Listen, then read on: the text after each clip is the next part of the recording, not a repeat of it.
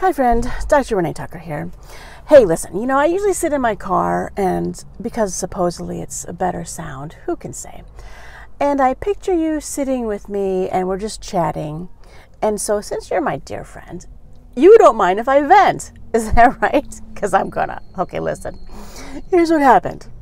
An acquaintance of mine, I'm sorry, by the way, this show is about fusing hocks and OSPHOS.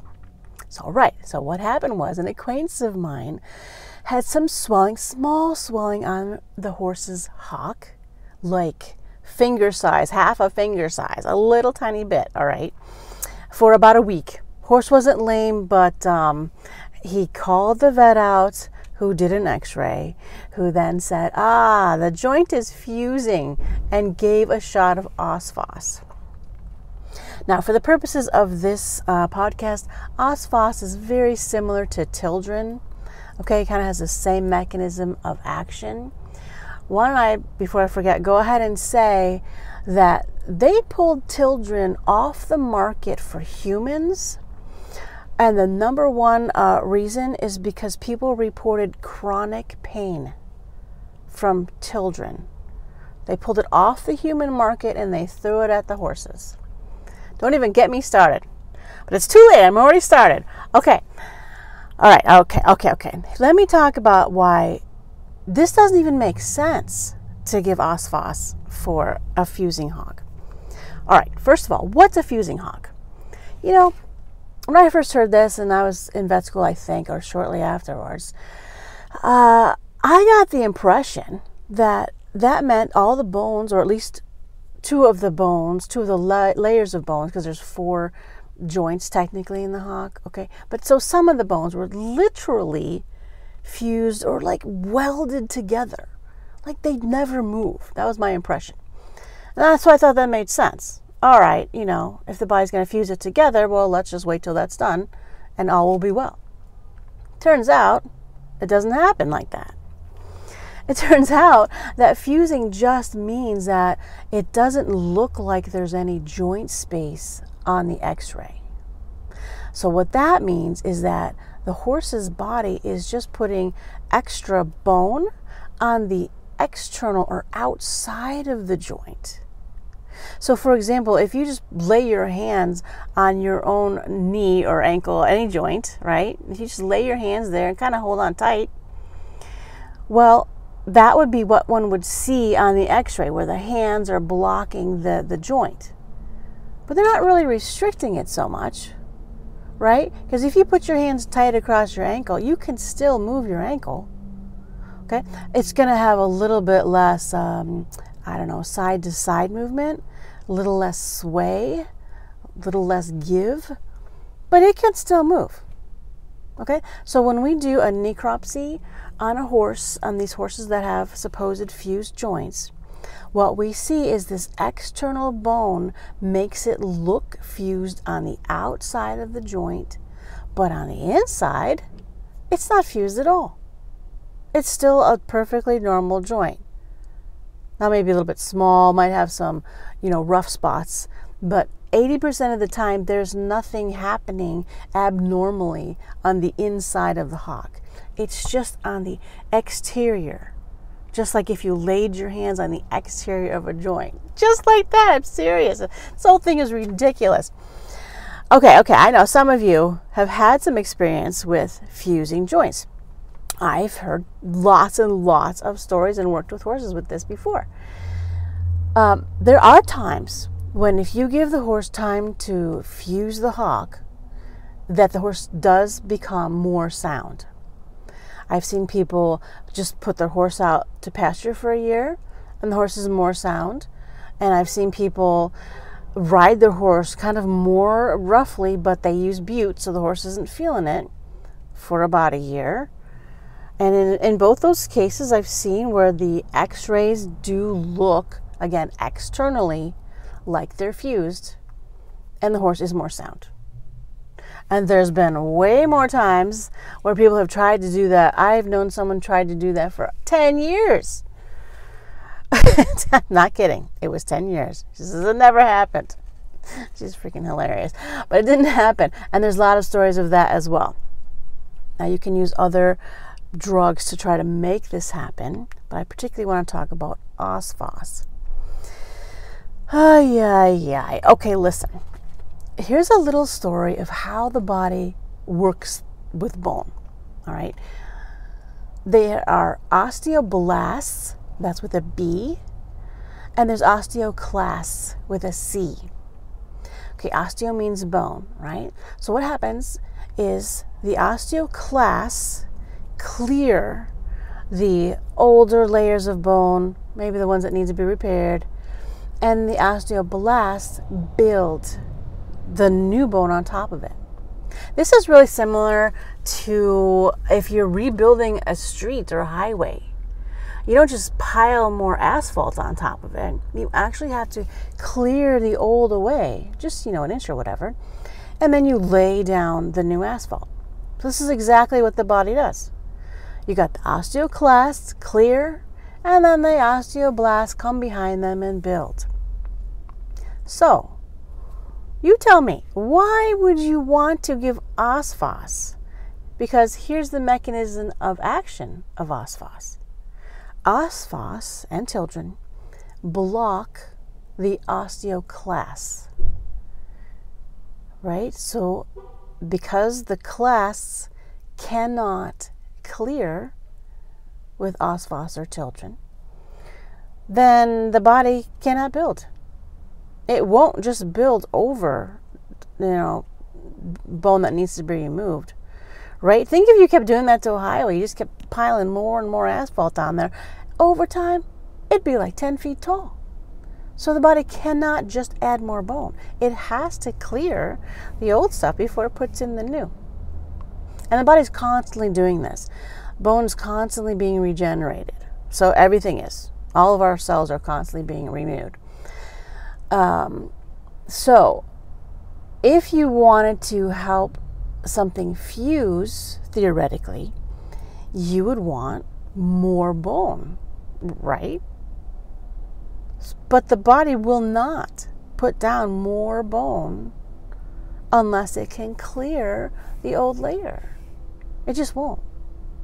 So it's not going to work to theoretically fuse the horse at all.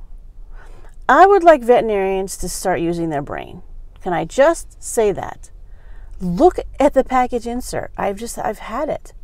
This is no good. This OSPHOS stuff stays in the system a minimum of four months. It's affecting every bone in the body. There's warning labels in the in the package insert for fractures. Well, that would make sense, right? You screwed up the whole body's mechanism of fixing the bone. And and and veterinarians are just giving this willy-nilly. Oh, you know, it's got a swelling. Let's give some OSPHOS. What the heck is going on? Oh, I hope you're appreciating my ranting because I just, there's always a way to fix stuff, people. There really, really is. If you have enough time, okay, you can't fix everything on a 35 year old horse. I get that. But the key is to find out why is the horse doing this. So in this example, why would the horse be adding extra bone? Well, horses usually add extra bone on the ex- external parts of the outside of any joint, including the hocks, for stability and or support. So all that means is uh, there's many different reasons why the hock would have mm, asymmetrical forces on it. So the hock and most of the joints in the in the legs, the major weight is from the body of the horse on those legs straight down to the ground. Right? The pressure on all the joints should be really straight vertical down for the most part. Okay. Now, if there's lots of different reasons, so here's a couple. If there's, for whatever reason, lax or loose ligaments, decreased or asymmetrical muscle, the hoof trim has the wrong angle or crooked angle, there, or there's sacroiliac issues, or there's pelvic misalignments That's just to name a few possibilities. Any of those things can cause the pressure of along the hock joint instead of being straight vertical to become a little bit crooked or shear or too much pressure on the inside versus the outside or vice versa. All right, it's just going to be asymmetrical pressure that shouldn't be there. And so that causes instability in the joint because there's too much pressure on one side than the other. So the body's like, uh oh, we need some help here. Let's put in more bone. That's all. So they add more bone to the outside of the joint to help it hold on. It's a helpful thing for the horse.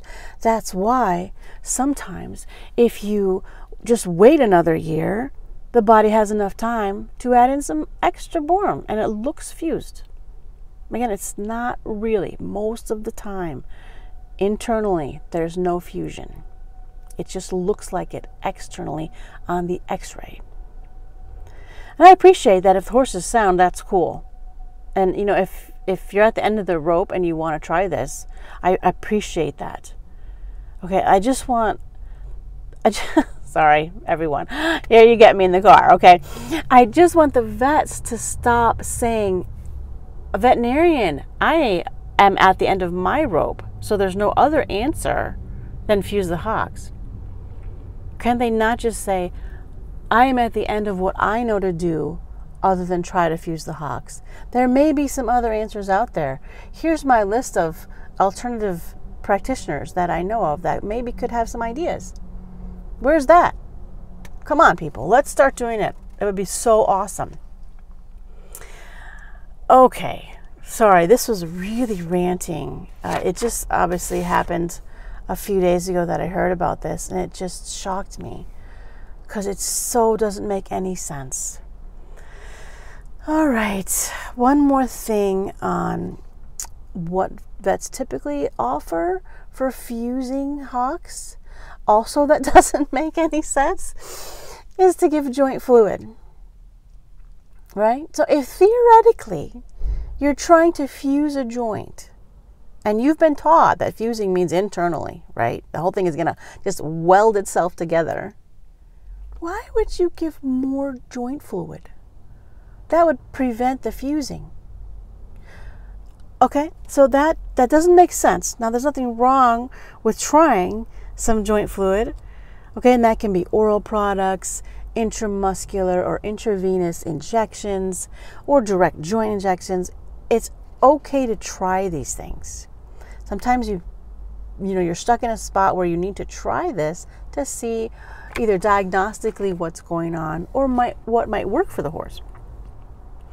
So if you're trying to fuse a joint theoretically and you give joint injections and the horse gets better, that's wonderful. But that's telling you the joint is not trying to fuse, it's trying to move. So when you gave more joint fluid stuff, the horse was happy about it. It's like, oh, yes, I do need more joint fluid stuff because I want to move this joint. I hope that made sense. You might have to re listen to that one. Um, the idea that I'd really like to get across, as always, is there's always a reason that the body is doing stuff. You want to find that reason and fix that. And the second thing I want to get across is if you could share this with your veterinarians, please come back to the light side, come away from the dark side, and, and just rethink. Because we're all really smart and we're all trying to do the best thing. And sometimes we just get stuck in this oh, I have a shot that might work. And uh, let's stop that. All right. Thank you all for listening. I'd love to see your comments, and I appreciate you guys. I'll talk to you later.